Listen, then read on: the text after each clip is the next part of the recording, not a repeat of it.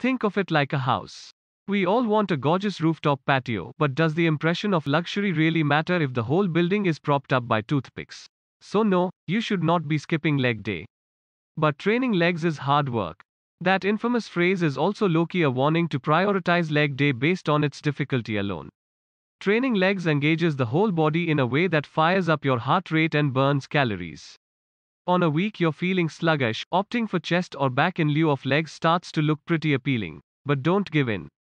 We've got you covered with leg exercises you can knock out both at the gym and at home, along with a few products that should help boost your leg workouts no matter where you decide to tackle leg day. Seeing as your legs comprise literally half your body, there are a lot of individual muscles, so we won't get too granular in this anatomy lesson.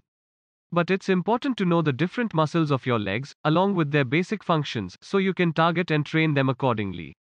Your leg muscles generally fall into three main groups we can also include your glutes, a group of three muscles, the gluteus maximus, gluteus medius and gluteus minimus, which make up your butt.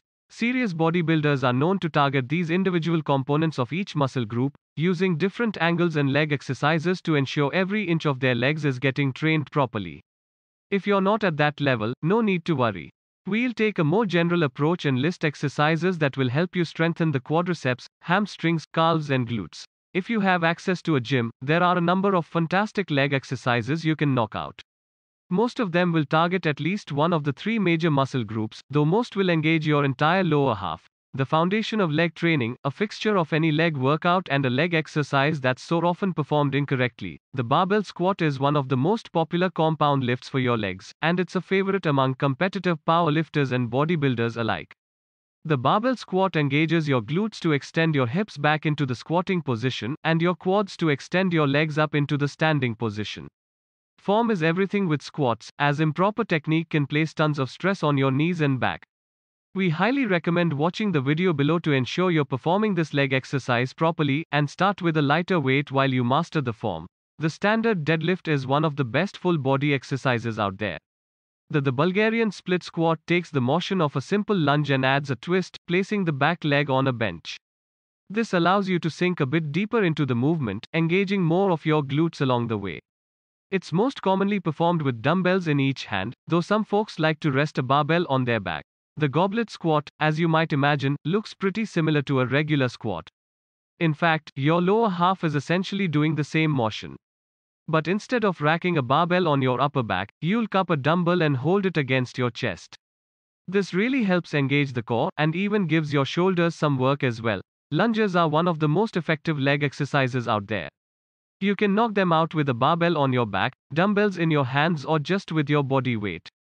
But like most leg exercises, the slightest lapse in good form can lead to a less efficient exercise and contribute to joint pain. This is essentially the single legged version of the straight leg deadlift from earlier. The benefit of this leg exercise is you can perform the single leg deadlift with a dumbbell or only your body weight, making it a little more manageable outside of the gym. It's great for engaging your hamstrings and isolating one leg at a time. Wall sits are one of those leg exercises you can do literally anywhere. All you need, as you might have guessed, is a wall. Do it during TV commercial breaks. Do it while you're waiting in line at the coffee shop. The wall sit requires no gear, only your body, and is a great all around leg exercise. Plus, it's as simple as they come. There's pretty much only one strength training exercise that isolates the calves, and that's the calf raise. There are tons of variations here, with the options of using a barbell, dumbbells, or even specific machines for calf raises. But you can use your body weight alone and perform this leg exercise effectively at home. The calves are key to supporting the rest of your legs, so it's best not to neglect them. Because leg exercises so often engage the entire body, there are a few pieces of gear that can really elevate the entire workout and keep your legs healthy. Regardless of whether you're training at home or the gym, the four products below are worth investing in. A foam roller is one of the best fitness investments you can make, particularly if you're eager to train legs. Using one helps to relieve muscle tightness, reduce inflammation, and increase range of motion, something you'll need for hitting those squats. This foam roller from 321 strong has rigid grooves for deeper muscle stimulation. In our book, if it hurts to use, that's a good thing, as getting all that tension out of your legs will only lead to better muscle health.